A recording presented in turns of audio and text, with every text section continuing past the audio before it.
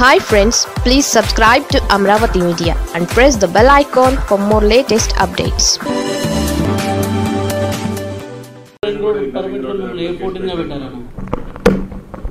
నిన్న యువగలం పాదయాత్ర మళ్ళీ ప్రారంభిస్తామని ప్రకటించడం జరిగింది. దాంట్లో భాగంగా గిఫ్ట్ కింద నన్ను ఇన్నర్ రింగ్ రోడ్ కేసులో ఏ ఫోర్టీన్గా పెట్టడం జరిగింది. నేను వాళ్ళకి ఒకటే చెప్తున్నా ఇంకొక ఆరు నెలలు ఎన్నికలు వస్తాయి.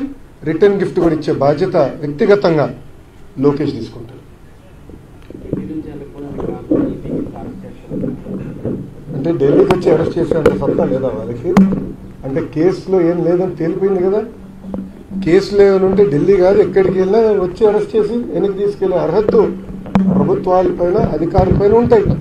ఆ కేసులో ఏం లేదని తెలిసే కావాలని పుకారు లేపుతున్నారు తప్ప దాంట్లో అసలు లేదు. అసలు ఇన్నర్ రింగ్ రోడ్ నాకేం సంబంధం అండి ఫైబర్ రోడ్ నాకేం సంబంధం అండి? స్కిల్ డెవలప్మెంట్ కార్పొరేషన్ నాకేం సంబంధం? నేను ఆగా నా నాయకుడు ఇబ్బంది పడుతున్నాడు న్యాయ పోరాటం కోసం. ఇక్కడ లాయర్లందరినీ కలిసి నేను వచ్చాను సీనియర్ లాయర్లందరూ కలుస్తున్నా. ఇతర రాజకీయ పార్టీల నేతల్ని కలిశాను. అదేవిధంగా ప్రతిపక్ష ఇతర పార్టీ ప్రతిపక్ష నేతలను కూడా కలుస్తాం. జరిగింది. వాళ్ళందరికీ ఆంధ్ర రాష్ట్రంలో జరుగుతున్న అరాచకాలు వాళ్ళ దృష్టికి తీసుకెళ్తాం జరిగింది. అంటే అది చేయకూడదన్న ఆలోచనతో ఈ ప్రభుత్వం ఉంది. అందుకే రోజుకు ఒక పుకారు రోజుకు ఒక కేసు. ఈ రెండు సంవత్సరాల తర్వాత ఏకంగా చంద్రబాబు నాయుడు గారిని ఏ థర్టీ ఎయిట్గా థర్టీ సెవెన్ థర్టీ ఎయిట్ పెట్టారు. రెండు సంవత్సరాల తర్వాత అసలు ఇన్నర్ రింగ్ రోడే లేదు. దాంట్లో కేసు ఏంటో నాకు అర్థమవుదు. అసలు ఇన్నర్ రింగ్ రోడే లేదు. దాంట్లో రెండు సంవత్సరాల తర్వాత నన్ను ఏ ఫోర్టీన్గా జరిగింది